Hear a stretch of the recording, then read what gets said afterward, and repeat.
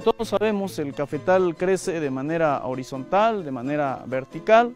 y cada que, pasa un ciclo en este crecimiento eh, horizontal, pues se van formando nudos productivos, es decir, nudos productivos son los que van a, generar flores en este, se preparan este año para el próximo ciclo,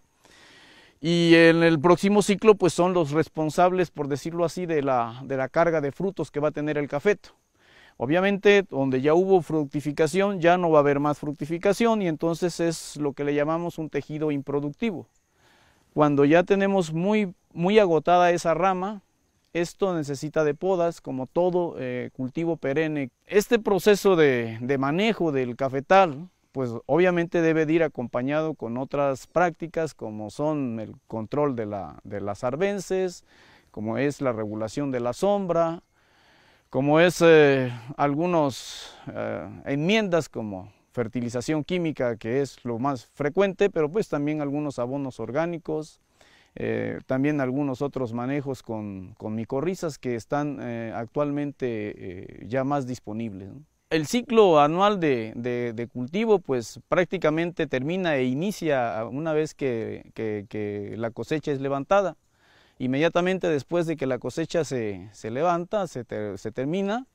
pues empieza una, una, limpia para después hacer eh, una fertilización o dos, dependiendo de las posibilidades. Y en ese eh, ciclo de cultivo, pues mantenerlo eh, prácticamente donde no haya competencia de, de arbences con cafeto,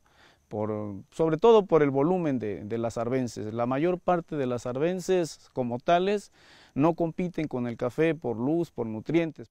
Eh, también un componente importante pues es la diversidad agrícola que, hay, eh, ya sea con algunos frutales como plátanos, cítricos o bien algunas ornamentales como dracena, dracenas, este, la palma camedor, algunos follajes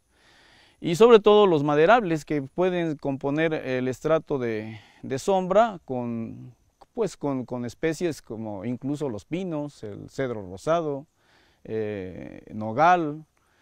que son, son maderas eh, que tienen, que tienen un, mercado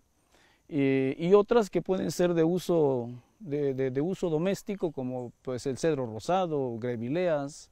Ustedes pueden comunicarse a, por teléfono a las oficinas de este sitio experimental que se encuentran en la Delegación Estatal de la Zagarpa, en el kilómetro 3.5 de la carretera Jalapa-Veracruz,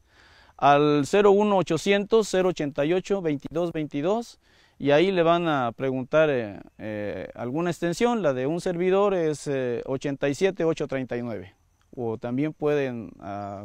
lo que es la administración 87844. Thank you.